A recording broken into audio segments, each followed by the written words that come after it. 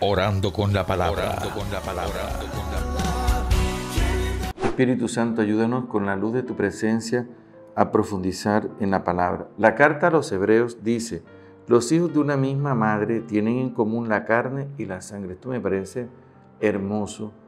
Primero porque eh, Jesús, dice el mismo texto, quiso Jesús tener con nosotros una común naturaleza.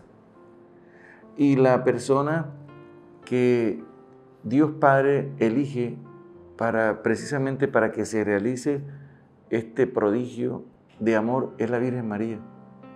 Por lo tanto, nosotros tenemos que agradecerle a Dios Padre que la eligiera porque ella eh, ha dado a Jesús la carne y también la sangre.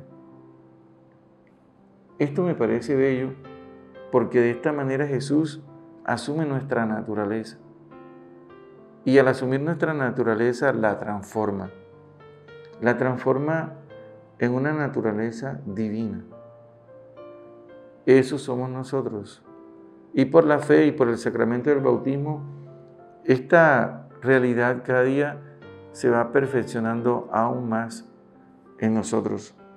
Por lo tanto, hoy es un día para agradecerle a Dios la persona de la Virgen María. Agradecerle a Dios que se haya fijado en ella y que la haya elegido para ser madre de Jesús y madre nuestra, como va a enseñarnos Jesús en la cruz o en el Evangelio de San Juan. La Virgen María es un regalo que Dios Padre hace a la humanidad y a través de ella nosotros vemos el, el amor de Dios, como dice San Juan, tanto amó Dios el mundo que envió a su Hijo al mundo, no para condenar al mundo, sino para salvarlo. Y envió a su Hijo al mundo a través de la Virgen María. Dios, si hubiese querido enviar a su Hijo al mundo, hubiese enviado como al ángel Gabriel, así como envió al ángel Gabriel.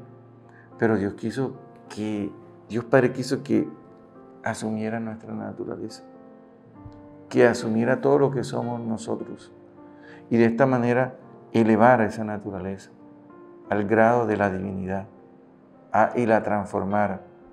Esa es la razón que cuando nosotros experimentamos la muerte, somos transformados. Es decir, la divinidad se manifiesta de manera más plena.